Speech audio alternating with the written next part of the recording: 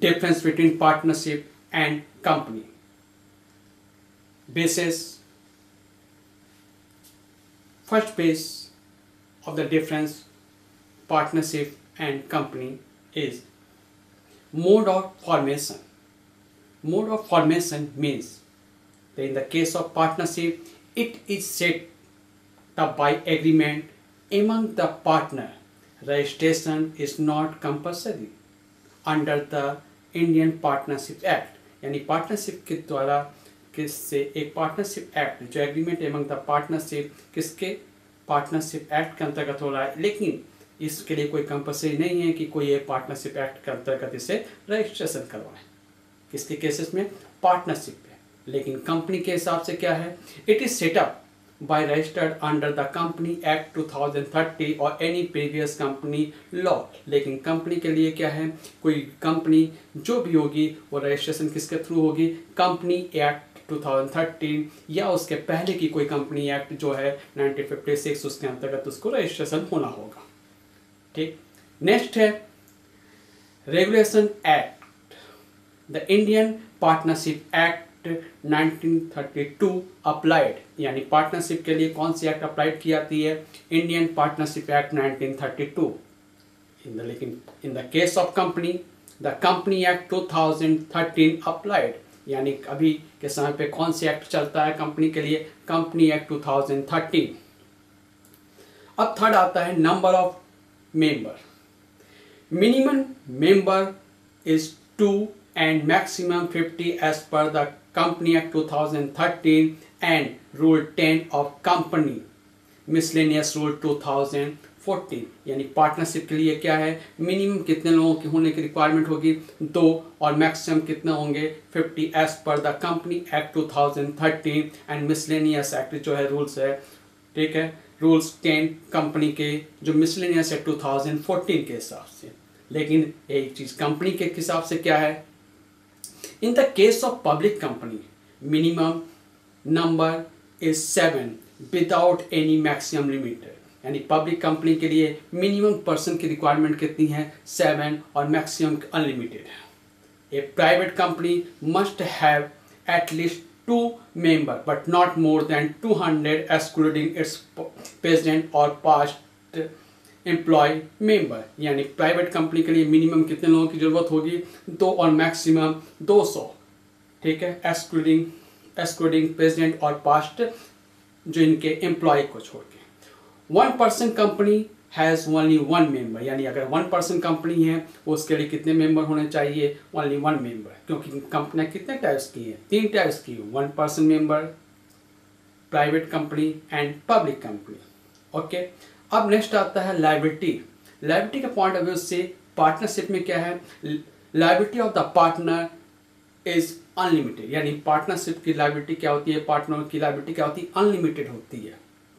लेकिन जब कंपनी की बात करते हैं तो देखते हैं liability of the member is limited to the amount of share held by them यानी लाइबिलिटी शेयर होल्डरों के पॉइंट ऑफ़ व्यू से क्या है? जितना उन्होंने शेयर लिया हुआ है, उसी के हिसाब से वो लिमिटेड होती है।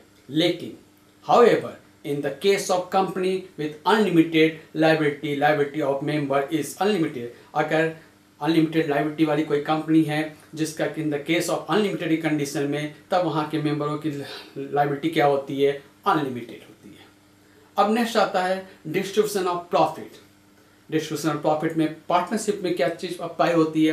Profit are distributed according to term of the partnership deed और equal if there is no agreement यानी पार्टनरशिप के लिए क्या होती है? जो भी प्रॉफिट का जो डिस्ट्रीब्यूशन होता है, वो किसके हिसाब से होता है? जो उनके प्रॉफिट डिस्ट्रीब्यूशन की प्रॉफिट दी होगी एज ए पार्टनरशिप डीड पे। अगर इन केस अगर वो नहीं है तो किसके हिसाब से होगा? इक्वली लेकिन, एक चीज़ कंपनी के लिए क्या है?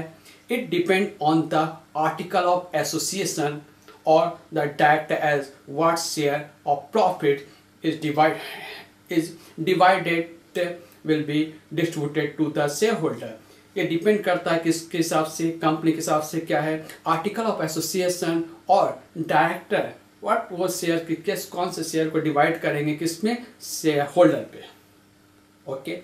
अब आता है नेक्स्ट पॉइंट आती है आपकी मैनेजमेंट मैनेजमेंट क्या करता है? मैनेजमेंट के हिसाब से पार्टनरशिप में क्या है डिफरेंस और कंपनी में क्या डिफरेंस है? मैनेजमेंट बिज़नेस में be manage by all all the partner और any of them acting for all यानी बिज़नेस का जो मैनेज करते हैं, जब पार्टनरशिप में सभी के द्वारा या उनके द्वारा कोई एक पर्सन लेकिन जब हम कंपनी की बात करते हैं तो वहाँ पे क्या है? Management in touch to the director क्योंकि मैनेजमेंट कौन देखता है? डायरेक्टर देखता है, क्योंकि इनके मैनेजमेंट और ऑनरशिप दोनों सेपरेट होते हैं। और जो डायरेक्टर होते हैं, वो इलेक्टेड होते हैं किससे? शेयर होल्डर द्वारा।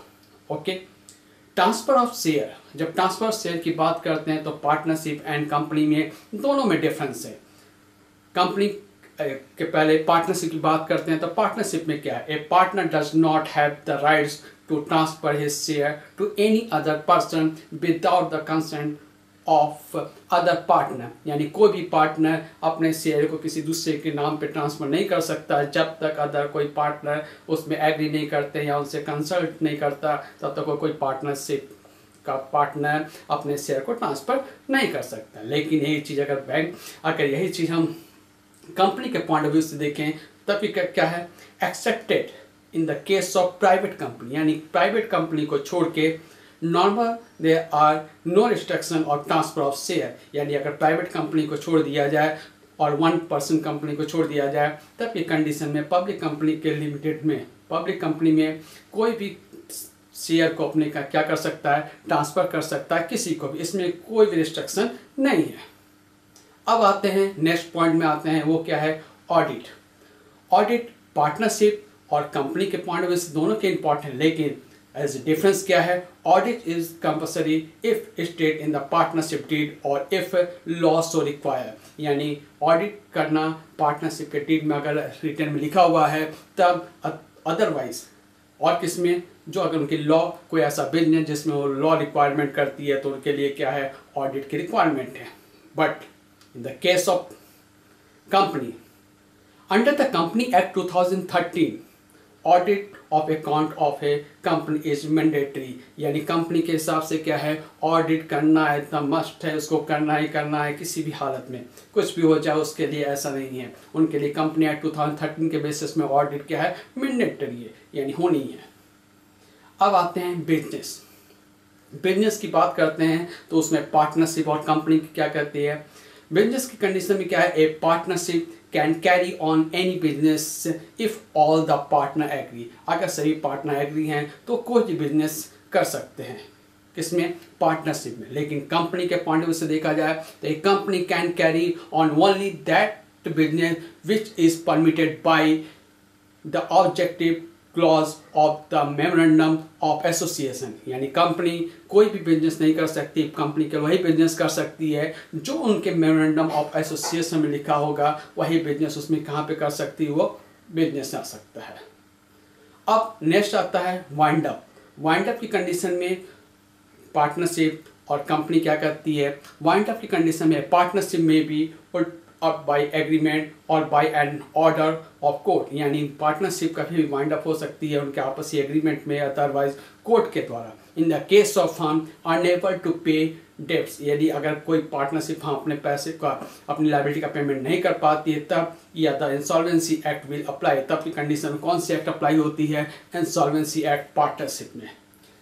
लेकिन कंपनी के केसेस में क्या है? A company can be put up only by the carry or the process prescribed in company act. यानी कंपनी को जब भी वाइंड अप करना होता है तो जो कंपनी एक्ट फॉलो करती है, जो प्रोविज़न उसमें अप्लाई किए जाते हैं, उनके द्वारा ही कंपनी को वाइंड अप किया जा सकता है। अब नेक्स्ट एंड लास्ट क्या है? स्टेबिलिटी ऑफ़ द बिज़नेस जब हम कंपनी पार्टनरशिप की बात करते हैं it is affected by death retire और इंसॉल्वेंसी ऑफ़ पार्टनर यानी स्टेबिलिटी की बात करते हैं तो पार्टनरशिप में इसका बहुत अधिक इफ़ेक्ट पड़ता है। अगर कोई पार्टनर रिटायर कर रहा है, कोई डेथ कर रहा है या किसी पार्टनर का इंसॉल्वेंस हो जाता है तो पार्टनरशिप में इफ़ेक्ट होती है। इफ़ेक्ट होती है इसकी स्टेबिलिटी में। लेकिन कंपनी के केसेस में क्या है? Share holder death insolvence insolvency और transfer of share do not affected continuity of the company यानी शेयर होल्डर के किसी शेयर होल्डर के डेथ होने पे इंसॉल्वेंट होने पे, या उसके अपने शेयर को ट्रांसफ़र करने की कंडीशन में भी कंपनी के एग्जिस्टिंग में कोई चेंजिंग नहीं आती है कंपनी कंटिन्यूटी में चलती रहती है। क्योंकि कंपनी की एंड और उसकी वाइंड अप तो कोई भी इफ़ेक्ट नहीं पड़ता है किसमें? कंपनी में। ओके इसके बाद हम लोग बात करेंगे काइंड्स ऑफ़ कंपनी यानी कंपनी कितने प्रकार की होती हैं, उसके बारे में बात करते हैं। ओके